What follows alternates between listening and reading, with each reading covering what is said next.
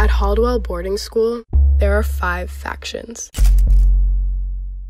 They will push you past your limit,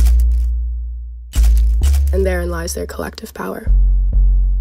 But the story isn't about the factions, it's about her, Selah Summers, and what she must do in order to ensure her legacy. Seeing as it's her senior year, and she has no one to pass it down to, except for me. My gut says Paloma. Selah, she's too new. She doesn't even know how the world works If yet. she doesn't know, then I'll teach her. Paloma Davis. Hey, Are you busy right now? When you're 17, you've got the whole world telling you what to do. That's a mistake they make. So it's like this. There is a power amongst certain factions of the student body that has been wielded for far too long. What do you think makes what we do possible? Make no mistake, severe actions, well, they beget severe consequences. Do they ever talk about the girl who came before you? She didn't work out. You got me breaking wasn't anyone's fault but her own. Is that what she told you? rules for you.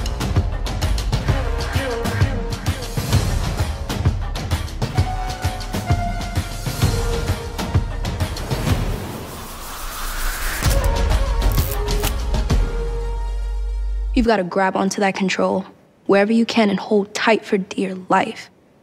Because they always try and take it from you, don't they?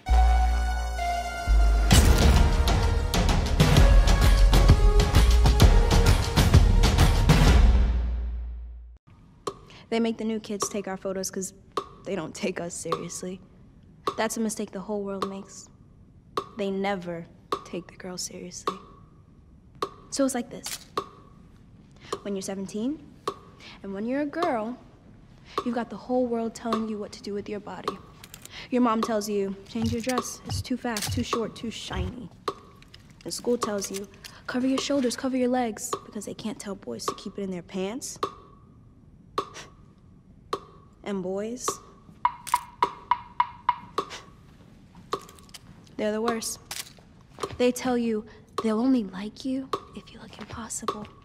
So you've got all these people telling you how to wear your skin, making you feel like whatever you want is the wrong slutty thing. And then you've got Spirit Squad. You know who decides our uniforms? We do. You know who choreographs our routines? We do. We tell you how short our skirts will be, how high and tight our tucks will rain, how spread out we make our eagles. I mean, if you got a problem with it, well, honestly, that's that's your problem. Because we do it for ourselves. For our control over our bodies. Because when you're 17, you've got to grab onto that control wherever you can and hold tight for dear life. Because they always try and take it from you, don't they?